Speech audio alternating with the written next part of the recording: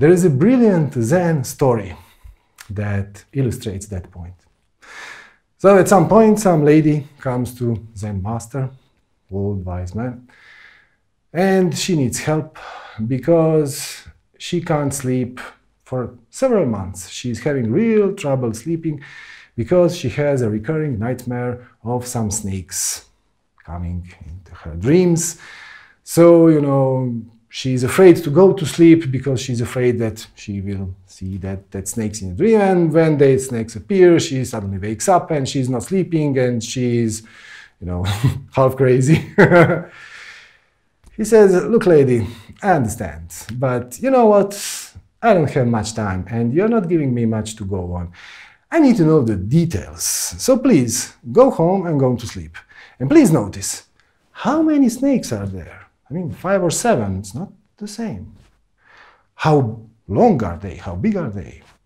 Uh, do they have stripes? What color are they? What are they doing? Are they hissing? Are they moving? So please take all the details, remember all that is to them, and then, of course, come back and maybe I will be able to help you. And lady leaves. And after six months, he meets her in somewhere and they greet and he says, oh, what about your snakes? Ah, never mind, they're gone.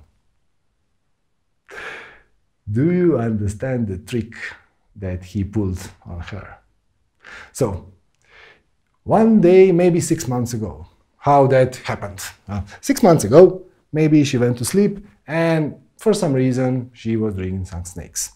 And since she's afraid of the snakes, she woke up and then probably tried to go back to sleep thinking, oh my God, please don't just let me dream of that snakes. And she carried that intention of not seeing the snakes, that anxiety of seeing snakes into her dream state. And of course, the snakes were back.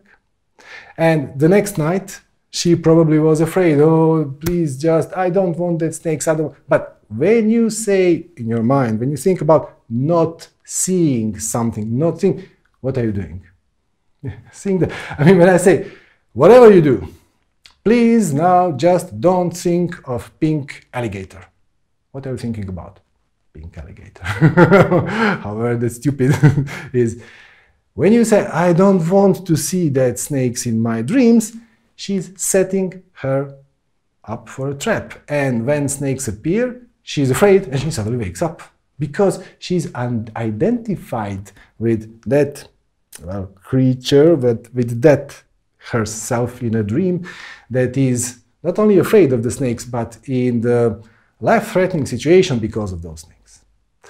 But now he tells her, go there and witness the snakes.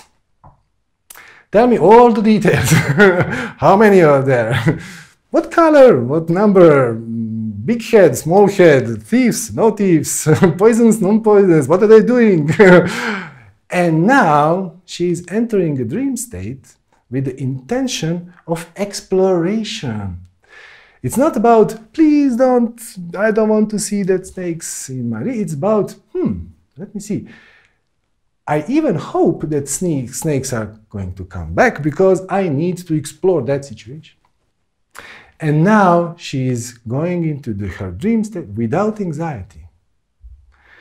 Actually, with some maybe even well, willingness, definitely acceptance. So she's accepting the situation.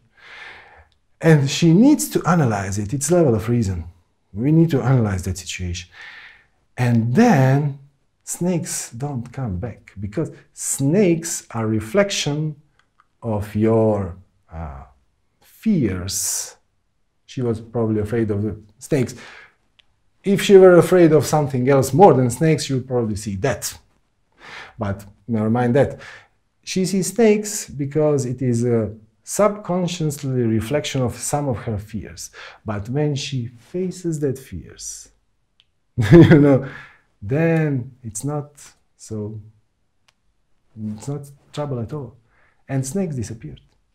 And this is exactly how it is in real life because our life here, our physical reality, is uh, like a dream in more in more ways that you could possibly imagine, and we'll talk about it also later. But from now on, from this point, your thoughts, your vibration actually, your vibration creates your thoughts, your emotion. Your vibration is what creates all those sensations, and you always manifest in your life circumstances and thoughts and ideas that are consistent with your current vibration. And it, it is all that you are going to talk, we are going to talk about from the next chapter forward.